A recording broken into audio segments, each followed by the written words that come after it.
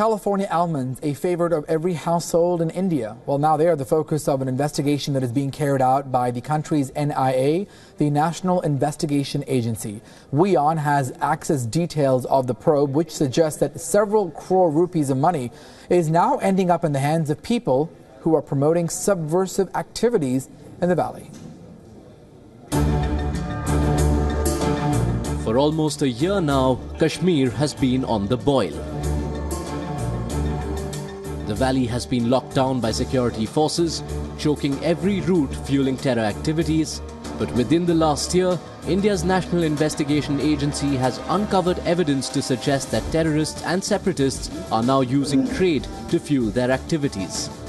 WION has now accessed the first information report filed by the NIA in December last year, which tells the tale of how the business of California almonds is being used to transfer funds to foment terrorism and separatism in Jammu and Kashmir. The FIR was filed after the NIA conducted searches at trade facilitation centers in Baramulla and Poonch districts.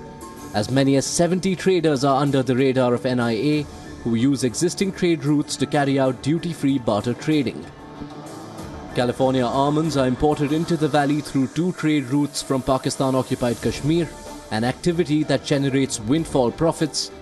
The trade routes were opened as a part of confidence-building measures in 2008.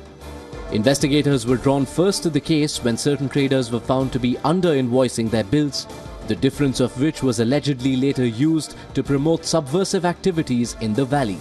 Reports say the NIA has now begun questioning separatists and Hawala dealers. At a time when Pakistan continues to back terror elements in its backyard, the report highlights the need to review trading relationships.